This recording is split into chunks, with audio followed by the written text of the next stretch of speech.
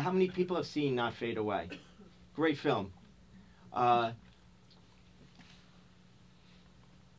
how does this come? How does this film come about? Because it's a beautiful. It's a, it's a it's also a beautiful film, and I think it touches on anybody that has been has grown up. It's it's it's almost an ode to growing up. Tell us about the film, where it's coming from, and when are we going to see another David Chase film that we've all been waiting for? You answer that question. Yeah. yeah. How about the other question? Where Yeah, does the the other film come from? The other question. The film, uh, when I was a kid, I was, you know, you're, you're just a kid. You don't really think about much of anything. And um, I used to look at, I used to have this thing called the World Book Encyclopedia. And um, they had a section called art. And so you'd look at it and there would be, you know, Caravaggio and Leonardo and all these people.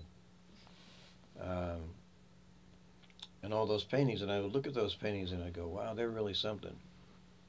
But I don't know that I understood them or didn't really see how they related to my life. I, I'm, I'm not Catholic, so that's another reason why it didn't um, didn't relate to me. But uh, although I was with with Catholic kids all the time and went to confession and everything with them. I mean, I didn't go to confession. I went with them and waited. and waited. Um, and when the Rolling Stones and the Beatles hit, and Bob Dylan, I was about uh, 17 or something like that.